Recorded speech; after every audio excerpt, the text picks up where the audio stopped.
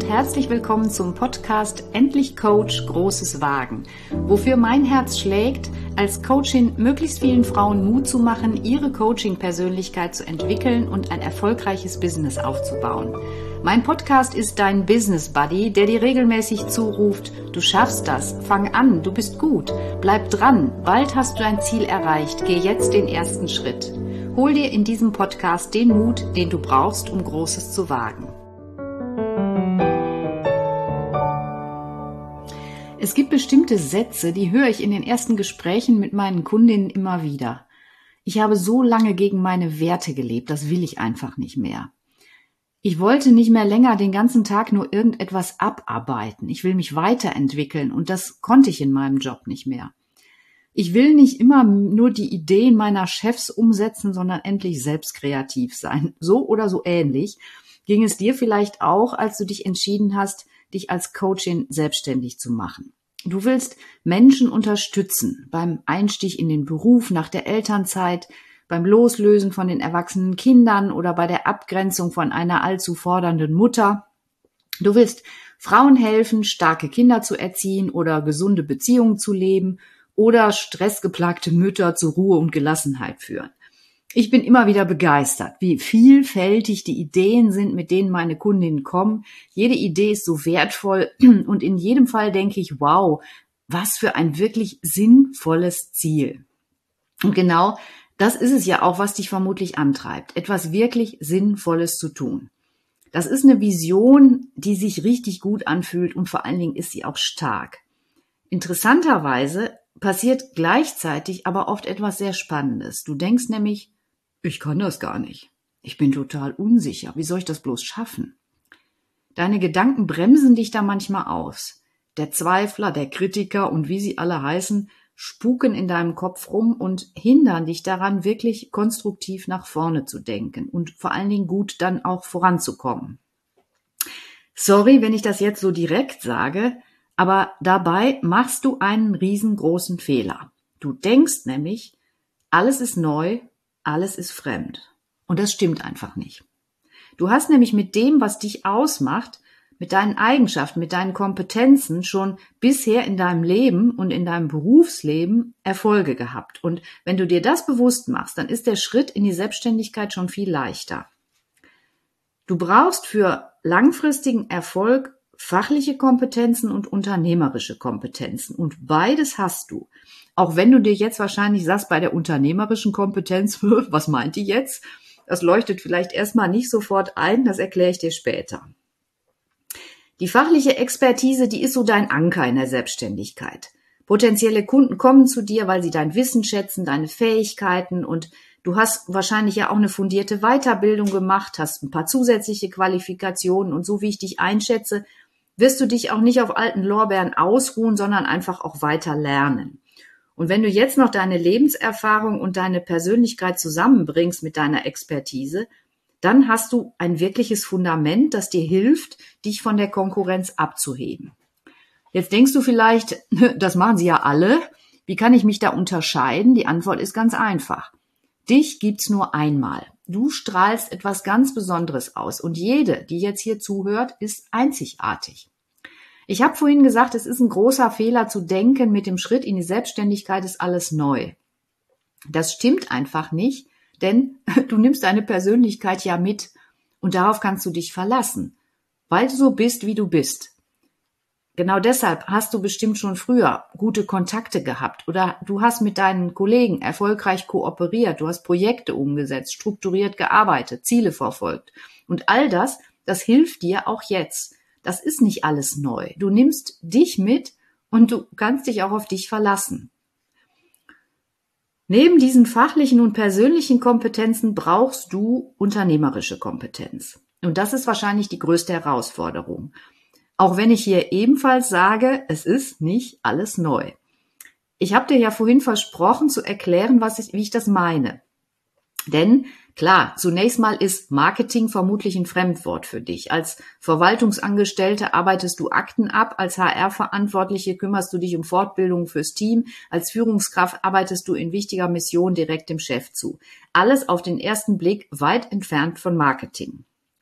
Dein Schritt in die Selbstständigkeit ist ja eine Art Übergang. Und Übergänge kannst du erfolgreich meistern, wenn du nicht nur auf das Neue vor dir schaust, sondern auch mal den Blick zurück machst. Deine bisherigen Tätigkeiten, Erfolge, Erfahrungen, die helfen dir, wenn du sie bewusst und reflektiert auf die neue Situation überträgst. So, und jetzt gucken wir mal auf Marketing. Wenn wir also Marketing mal etwas allgemeiner betrachten und definieren als Möglichkeit, Menschen auf etwas aufmerksam zu machen oder Menschen von etwas zu überzeugen, was wertvoll ist, Menschen mitzunehmen auf einen Weg, der sinnvoll erscheint dann kriegt doch wahrscheinlich Marketing in deiner Vorstellung schon eine ganz andere Qualität. Ich bin mir da nämlich sicher, du hast schon ganz viel Marketing-Erfahrung in deinem Leben gemacht. Du hast das nur nicht so genannt. Du hast deinen Chef vielleicht davon überzeugt, dass es sinnvoll ist, für das Team den Referenten XY einzuladen. Marketing im Sinne von überzeugen von einer Idee. Oder Du hast dir überlegt, was du am besten anziehst für dein erstes Date. Beste Form von Selbstmarketing beginnt schon im Bad. Oder du überzeugst deine Familie davon, den nächsten Urlaub mal lieber auf Lanzarote zu machen und nicht in Bayern. Marketing im Sinne von argumentieren für ein bestimmtes Produkt. Wenn du dir klar machst, dass du als Coach andere Menschen auf dein Angebot aufmerksam machst, dass du sie von deinen persönlichen Qualitäten überzeugst und auch noch zeigst, dass du fachlich was drauf hast, dann machst du Marketing im besten Sinne. Das ist sozusagen der Blick zurück. Du überlegst dir, was du bisher schon gemacht hast, um andere von etwas zu überzeugen und für dich zu gewinnen. Und wenn du mit diesem Verständnis Marketing denkst, dann braucht sich das auch gar nicht fremd oder unangenehm anzufühlen. Der Blick nach vorne ist dann noch, du baust Marketingwissen auf. Klar, das brauchst du natürlich auch und das kannst du lernen. Gerne auch bei mir. Also, wie erstelle ich eine Webseite? Wie schreibe ich Blogartikel? Wie entwickle ich eine Contentstrategie? Wie baue ich eine E-Mail-Liste auf? Damit für dich Marketing auch mit all dem neuen Wissen da nicht unangenehm wird, brauchst du Klarheit darüber, was für dich gut passt. Und das nenne ich authentisches Marketing. Du entscheidest, was du machen willst und womit du dich wohlfühlst. Du musst keine Reels tanzen und jeden Tag eine Story darüber machen, wie du mit dem Hund spazieren gehst.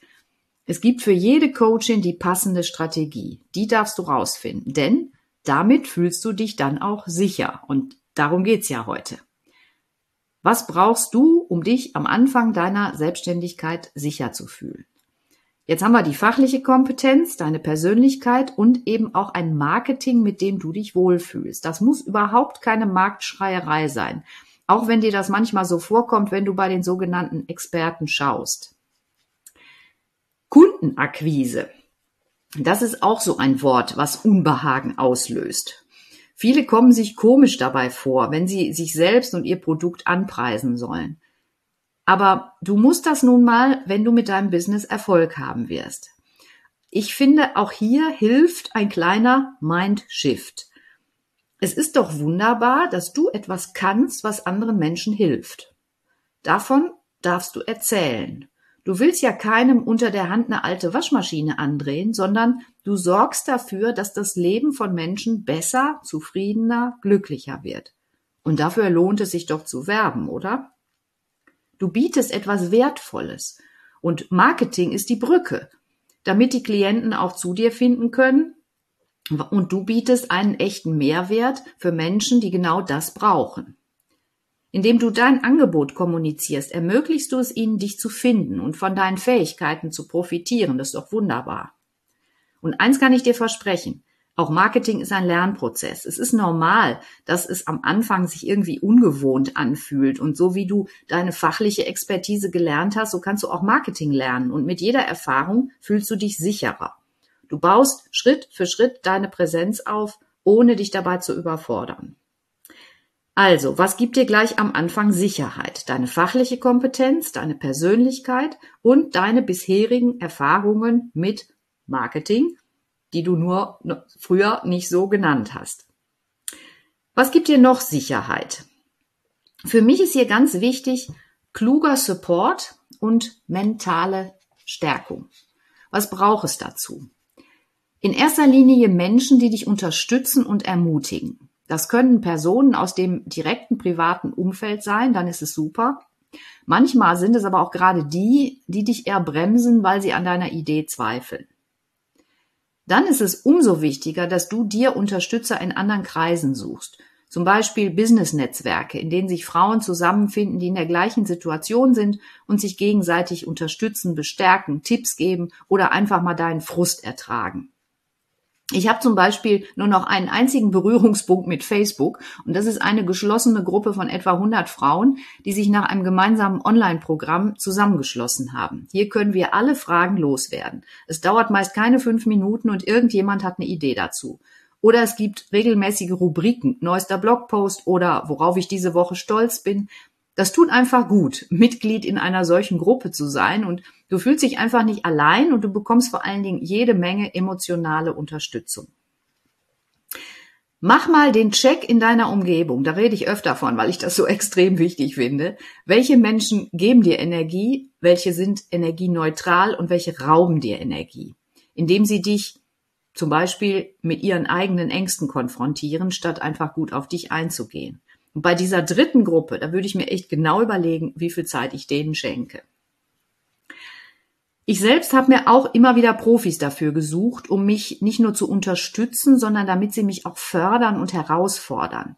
Ich habe mal gelesen, Mentoren sind Menschen, die bereits dort sind, wo du hin möchtest. Sie haben eine Herausforderung des Anfangs gemeistert und sie können mit praktischen Tipps dir zur Seite stehen. Und Ihre Erfahrung hilft dir, häufige Fehler zu vermeiden und vor allen Dingen den Fokus auf das Wesentliche zu legen. Sie stellen kluge Fragen und geben dir konstruktive Kritik zu deinen Plänen und zu deinen Ideen. Ich selbst beschreibe mich immer mit drei Rollen, die das auch so ein bisschen bündeln, was ich gerade gesagt habe. Ich bin irgendwie Bergführerin, die Sicherheit gibt, weil ich den Weg schon kenne. Ich kann dir zeigen, wo du bei deiner Klettertour am besten die Hände und die Füße hinsetzt. Ich bin auch ein Tourguide für gute Orientierung. So ein Guide, der, was weiß ich, in der Megacity wie Bangkok die erste Stadtführung macht und dann weißt du schon mal grob, was es alles gibt. Und nicht zu vergessen, ich bin auch sowas wie eine Personal Trainerin für Verbindlichkeit. Es werden Termine gemacht, Ziele festgelegt und damit kommst du auch ins Tun. Wenn du dir jemanden suchst, dann achte vor allem darauf, dass dir nichts übergestülpt wird. Nach meiner Auffassung geht es immer darum, einen individuellen und sehr authentischen Weg zu finden. Es gibt kein One-Fits-All-Marketing. Ein Marketing-Schema für alle. Das funktioniert nicht. Unser Thema heute ist ja, was gibt dir am Anfang Sicherheit? Und dazu gehört auch eine emotionale Unterstützung, also Mut machen, wenn es gerade mal nicht so gut läuft, helfen durchzuhalten, wenn es mal schwieriger wird, helfen den Fokus nicht zu verlieren. Das kann eine vertraute Businessgruppe leisten oder eben auch jemand, der dich im Eins zu eins in deine Selbstständigkeit begleitet. In meiner eigenen Rolle als Mentorin, da merke ich immer wieder, dass es mir hier auch sehr nützt, selbst Coachin zu sein und nicht nur Wissen über Marketing zu haben. Denn du weißt genauso gut wie ich, aufbauende und stärkende Gespräche sind im Coaching weit mehr als der Austausch mit der besten Freundin, obwohl sie es vermutlich auch sehr gut mit dir meint. Also, ich fasse nochmal zusammen. Fachliche Sicherheit und mentale Stärke am Anfang der Selbstständigkeit geben dir ausgewählte Menschen, Freunde, Netzwerke und eben auch der professionelle Support durch Mentoren. Mit Menschen, die dich fördern, die, die dir ehrliches Feedback geben und dir in schwierigen Zeiten Rückhalt bieten, da schaffst du dir ein sicheres Fundament für deinen Erfolg in der Selbstständigkeit als Coach. Zum Schluss gibt's noch einen Gedanken, den ich dir mitgeben möchte.